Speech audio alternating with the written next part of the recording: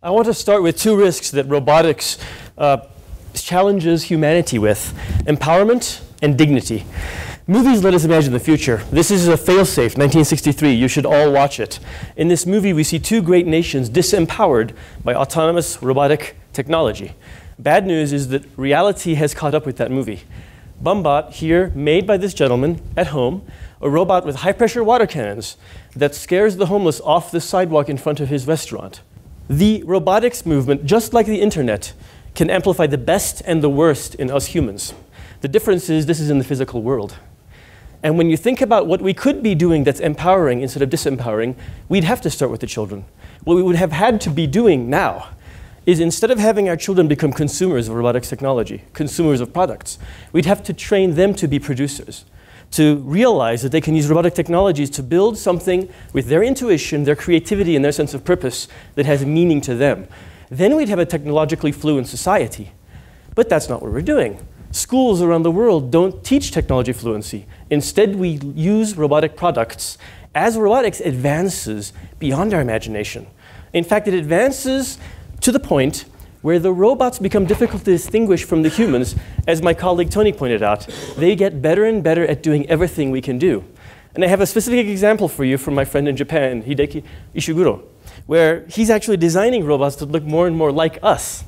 My next picture is Ishiguro with his robot, a Geminoid.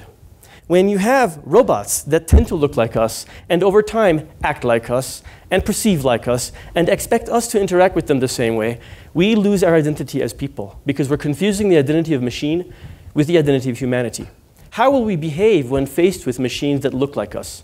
How will we discriminate them and how will that disempower us? It doesn't have to be that way. Robotic technologies can celebrate our identity as humans.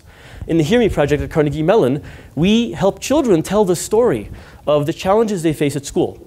They create media, then they build robots that tell their stories, and we spread them in restaurants and cafes around Pittsburgh.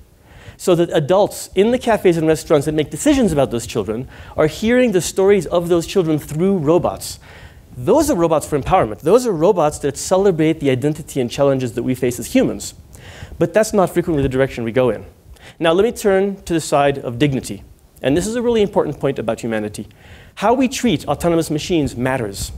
Famous experiment where you bring in participants who play with the robot on the right using a flashlight. Then the researcher says, the robot's not performing well, now kill it. And they give you a hammer. And they video record this. They watch how many times you smash it. This is playing with fire. We're creating robots in which people perceive agency. Then we're asking them to treat the robot inhumanely on purpose. It doesn't have to be that way. Keepon, developed in Japan and Carnegie Mellon, teaches autistic children to dance. Because it's not human looking, it's easier for autistic children to deal with. That's the direction we ought to be going, but how many products do that? Very few indeed. One final challenge for you is an example of what we could be doing. Air pollution, as you all know, is a massive problem globally. It kills more people than breast cancer, AIDS, prostate cancer, car crashes, put together. So particulate matter matters, but it's invisible. And it's not just an urban problem. We know this problem exists in rural areas. I myself have gone to uh, Uganda, Bukomansimbi, and measured air pollution in single room houses like that at a thousand times unsafe levels of particulates. So we know this is a problem. And heartbreakingly, that's the house where somebody lives, sleeps, eats, and cooks. So children are day and night subjected to exactly the things that will ca cause cardiovascular disease, pulmonary disease, uh, and even now linked to autism and, and activity disorder, ADHD, hyperactivity disorder. So we know that this is a major problem.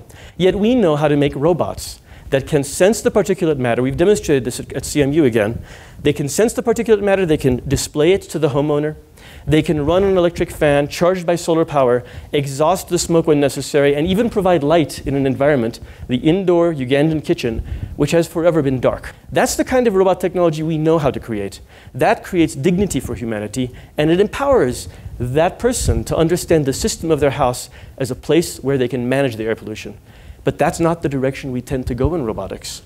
It doesn't have the profit margin for our business society.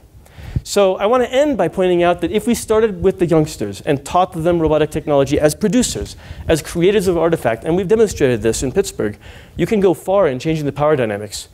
But I'm going to say the risks outweigh the opportunities until we decide that robots are not products, but raw material for people who are technologically fluent to create a new society.